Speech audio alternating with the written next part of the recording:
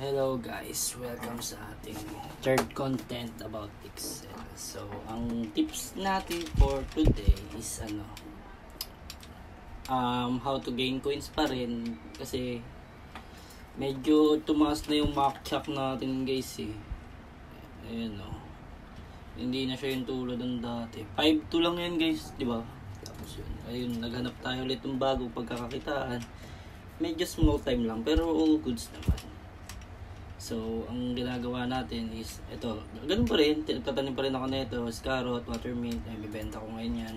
Benta ko lang, water mint, 170. All in sa akin yan guys, kasi medyo ano yung water mint ko. Water mint, 170. Okay, great. Tapos guys, yun, ang ano natin ngayon is, yun, rainbow. So, I suggest na mag-focus na lang kayo dito sa pagtatanim ng rainbow. Tapos, yung kikitain nyo na coins is ano, ayun na lang yung pambibili nyo dito. Like, uh, bigyan ko kayo example guys. Like, uh, for example, eto. Etong butterberry or orange grumpkin. Bibilin lang natin yan doon sa shop. Orange grumpkin, 10. Oh, bibilin na natin. Orange grumpkin, 10. Oops, wag yan. Ito. Okay. Tapos ayun lang guys, ganun lang yun.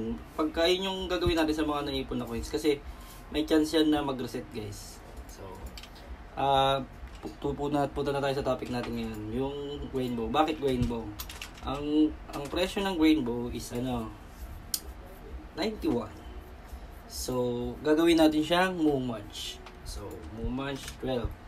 Ang alam ko ang mumunch is 12 ata yun, then 1 1 cooking mix, cooking mix. So, yan, 1092.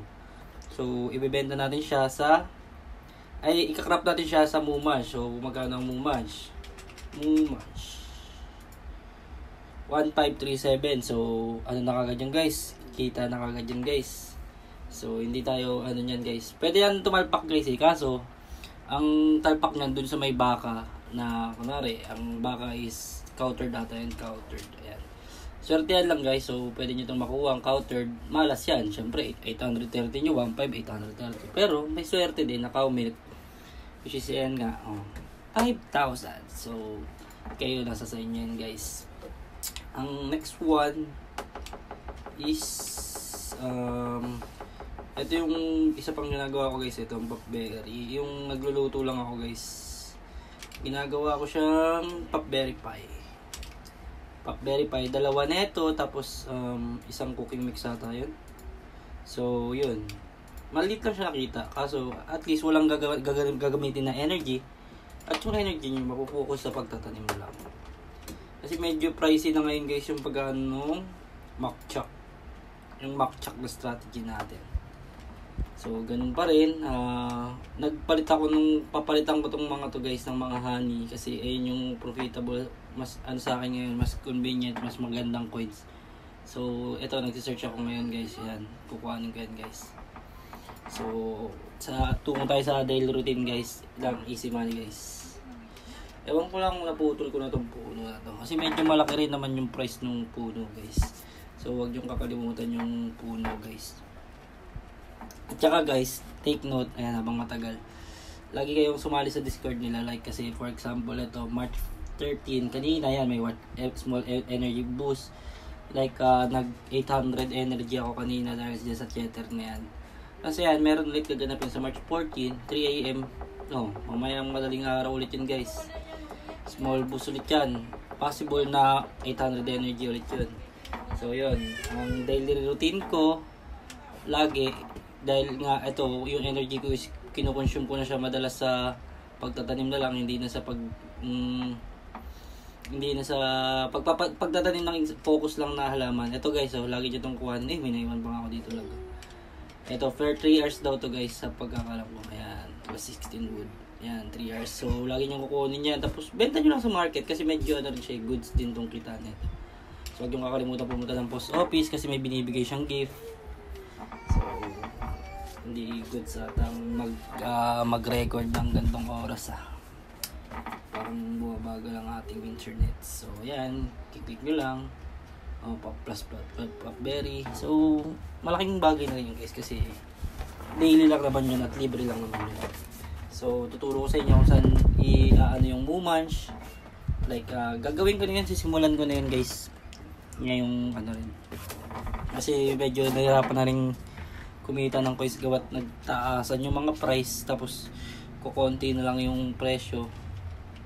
Ah, yun. Punta, ta- punta lang tayo dun sa may baka tapos yung isa ko pang ginagawa palagi na hindi nyo din dapat kalimutan kasi libre lang yun. Ah, dito lang guys sa upper side lock ng Terabila. Ayan. Pixels headquarter. Ito, Mumash. So, papakain nyo lang yung Mumash dito guys. Tapos, alam ko is, uh, da-digest niya pa yan. Siguro mga hours lang din ata yan. Uy, may 3 notification ako. Uy, watermint. Nabenta na watermint natin guys. And guys, napopokus lang ako sa watermint. Tapos is carrot. Ayun lang yung binibenta ko. Bagal lang net. Net nga ba mabagal?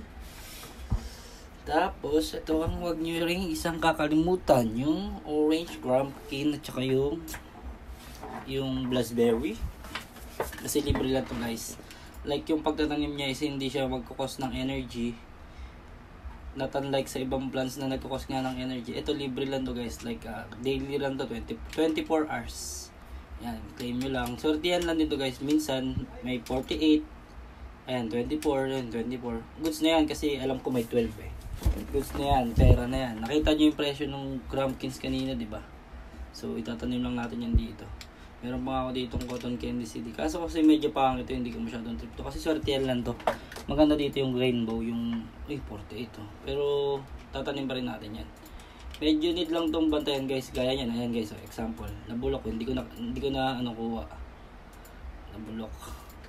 Medyo need lang bantayan yan kasi ano to, two, two times mo siyang didiligan. Ayun, nabulok din tong isa. oh. Ayan, wala siyang energy na kinukos guys. Babalik naman yan. Ayun o, bumalik. Tapos, itatan ano lang natin siya, didiligan lang natin siya. So, medyo need lang siyang bantayan. So, iwas-iwas tayo sa pagtatim ng ganito pagka bago mag-maintenance. Or may announcement na mag-maintenance sila. So, yan. 3 hours, babalikan niya siya in 3 hours. Then, yun. Dilig lang, tapos 40 minutes ata yun. Ayun, ganun. Tapos, asa na yung isa? Ayan, tanim lang na ito tanim lang, tanim, tanim, tanim. Ayun guys, oh, walang energy guys, so tignan nyo na lang. Walang energy yan.